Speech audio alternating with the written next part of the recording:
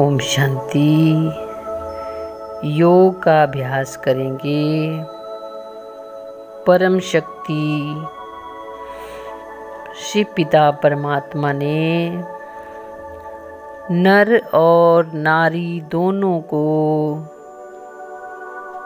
पूरे सृष्टि के कल्याण कारी महापरिवर्तन की जिम्मेवारी दी है।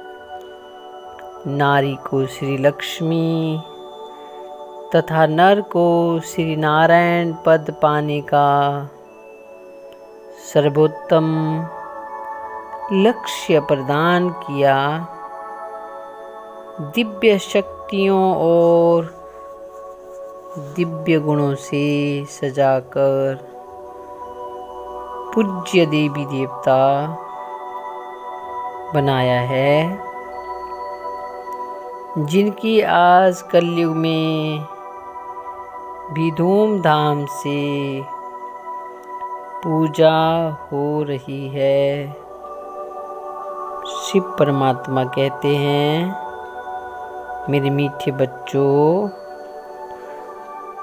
तुम मुझे जितना प्यार से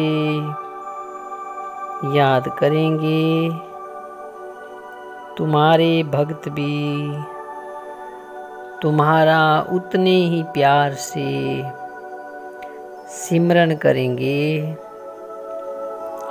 शिव परम पिता की मीठी यादों में कोई मैं आत्मा बड़े प्यार से शिव बाबा को याद कर रही हूँ। मैं बिंदु रूप आत्मा, सिंधु स्वरूप परमात्मा के सन्मुख स्वयं को देख रही हूँ। शिव पिता बोले, मीठे बच्चे, जीवन में अमूल्य, अमूल्यों का अद्वितीय स्थान है। तुम्हारा संपूर्ण व्यक्तित्व, तुम्हारे जीवन अमूल्यों का प्रतिबिंब है। अतः अधिक से अधिक मूल्यों को अपनाओ और मूल्यवान बन जाओ। शिव बाबा बोले तुम अमर भव के वरदानी बच्चे हो। अमर पिता की संतान हो। सदा स्वयं को अमर समझो। अमर आत्मा समझो।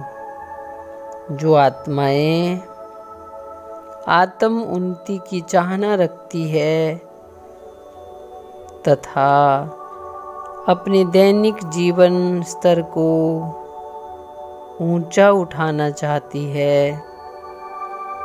उन्हें जीवन में श्रेष्ठ गुणों को अवश्य अपनाना चाहिए। आज हम सभी गुणों की माला, पहन, शिव बाबा के गले का हार बनेंगे। पवित्रता सर्व गुणों का आधार है। मैं शुद्ध पवित्र आत्मा हूँ। पवित्रता मेरा आदि अनादि गुण है। पवित्रता ही सुखी जीवन का आधार है। पवित्रता की शक्ति से मुझ आत्मा ने अपने विकारों पर विजय पाई है। विकारों का विनाश किया है। अब मैं पवित्र आत्मा, पवित्रता का प्रकाश चारों ओर फैला रही हूँ। स्वप्रकाश द्वारा सारे विश्व को प्रकाशित कर रही हूँ। पवित्रता की शक्ति, असंभव को भी संभव बना देती है।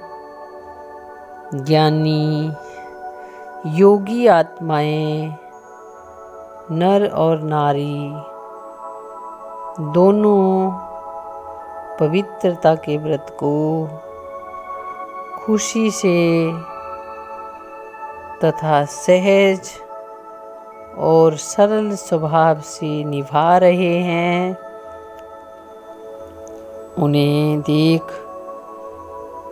सन्यासियों और महात्माओं को भी आश्चर्य होता है कि यह कैसे संभव है।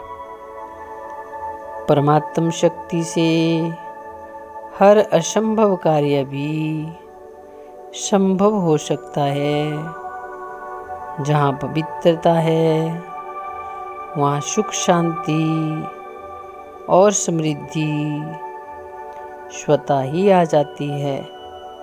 मैं शुद्ध पवित्र आत्मा अपने चेहरे व चलन से अपने पिता परमात्मा को प्रत्यक्ष कर रही हूँ। ओम शांति